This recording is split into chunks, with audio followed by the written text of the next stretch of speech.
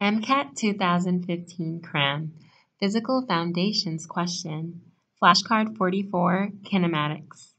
Acceleration from displacement time and initial velocity. And for those of you who aren't familiar with the term kinematics, it's just a fancy way of saying um, the study of motion without making any references to forces or mass involved in the motion of the particular object under study. Okay? All right. Top fuel dragster cars can accelerate from rest down a quarter mile of track, that would be 400 meters, in under 4 seconds. Assuming no assuming constant acceleration, what would the acceleration of a dragster be if it sped down a track in exactly 4 seconds? Would it be A, 25 meters per second, B, 100 meters per second, C, 75 meters per second, or D, 50 meters per second? I'll give you a moment to choose the correct kinematics formula in order to arrive at the correct answer choice. Definitely press pause if you need to.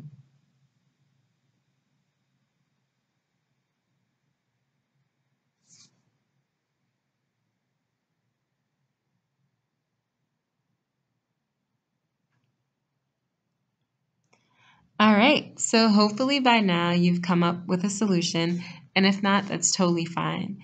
Let's take a look at the um, solution steps right now, okay? All right, so basically we're given displacement. We're told that the track is 400 meters long, and we're also given time because we're uh, hypothetically assuming that the dragster car speeds down the track in four seconds, okay? So um, we also know our initial velocity.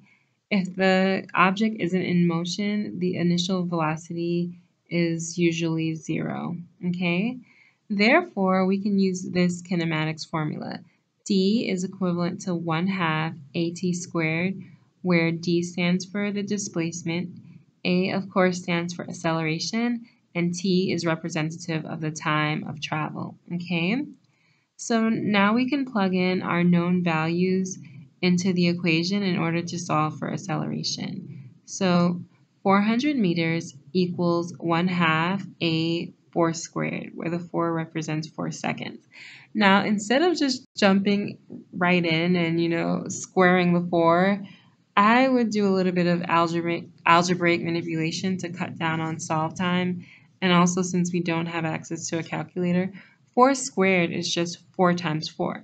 So I would just eliminate a 4 on the right hand side and also divide through by 4 on the left hand side to get 100 meters equals 1 half a times 4. Well, we know what half of 4 is, so 100 meters equals 2a.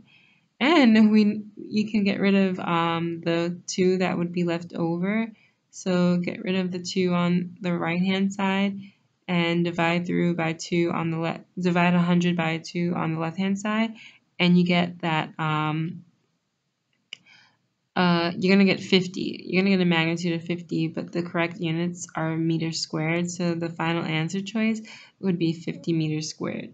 Sorry for not illustrating all those steps, but at this point you should be thorough in this type of um, you know, brain math, if you want to call it that, okay?